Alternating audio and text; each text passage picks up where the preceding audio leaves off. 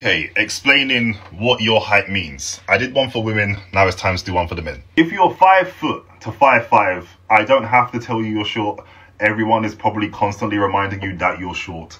So I'm not going to, but I do empathize because it's annoying. If you're five six to five eight, you don't have to lie about your height because oftentimes you're going to be dating women who are shorter than you. And women who are shorter than five six don't exactly know what six foot is. So you are okay. All they know is that six foot is like in this region. It's just around here somewhere. The only women that know what six foot is, is women who are taller than five foot seven. Because they know what six foot looks like. If you're five nine to 5'11, stop telling girls that you're six foot. You ruin it for everybody else. Yeah. This is all your fault. If you're six foot to six one, then you're tall.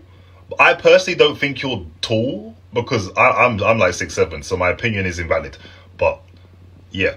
Okay, now listen to me. If you are six foot two plus, you are taller than like the majority of people you are ever going to come across in life. But what you guys need to do is stop dating women that are 5'2", 1, 5 foot, 4'11", because they're trying to ruin the gene pool, fam. They're trying to destroy your genetics. What's gonna happen is you're gonna have a son and he's gonna be 5'11".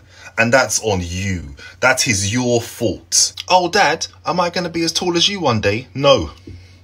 Because my poor decisions have stunted your growth.